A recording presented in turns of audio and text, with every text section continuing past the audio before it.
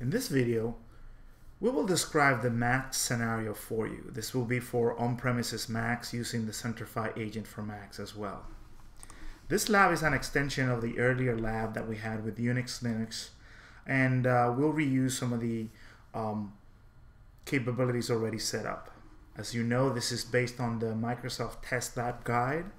So we've introduced a couple of machines. Uh, this is a classic one. This is the Windows 7 machine. This will be where we'll have the management station for Mac admins and we'll, where we'll edit the GPOs. I have a uh, Mac Mavericks, uh, Mac OS 10 Mavericks, uh, that will be used for our on-premise scenario. And uh, we will keep the same uh, governance model that we had before. So we will um, we will create an OU, and this OU will be basically uh, called uh, Max, and we'll have two scenarios for corporate and BYOD. BYOD will be covered later. So now let's talk about some of the requirements for this fictitious scenario.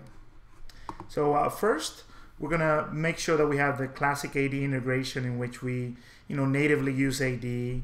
Um, you know, we don't we don't synchronize any identities. Uh, we control uh, users uh, through a, tools like uh, user Active Directory users on computers. Um, we make sure that the policy is enforced across Macs, and of course we have Kerberos access. Uh, so that means passwordless access to uh, shares and printers and and things of that nature in the directory. Also, high availability will do offline access. And uh, we'll do a lot of configuration for security, like uh, you know that Mac administrators can only add, move, and remove Mac's computers. Um, we're going to eliminate the, sh the sharing of a Mac account. You know, sometimes you have an, a local admin account that everyone knows the credentials for that. We're going to eliminate that practice. Uh, of course, enforcing the password policy. Uh, we're going to do a screensaver within 10 minutes. Um, we're going to have users not be able to launch the terminal utility, logo banner. Um, users shouldn't be able to launch the iCloud, iCloud uh, system preference. The firewall's always on. iChat, iTunes, and iMusic sharings that will be disabled. Uh, in a later scenario, and this is going to be a separate video, we'll do 5 volt to encryption. Um, access to external drives will be password protected.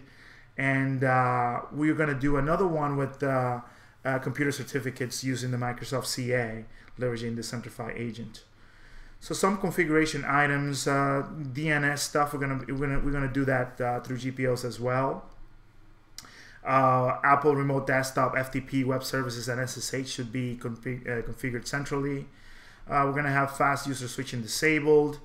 And finally, from a user perspective, we're gonna map home directories automatically, shared directories automatically. Uh, just for giggles, we're to put the dock on the left side and uh, we'll do printer provisioning as well. So that's our scenario and the next video will be basically getting started with the setup on the AD side.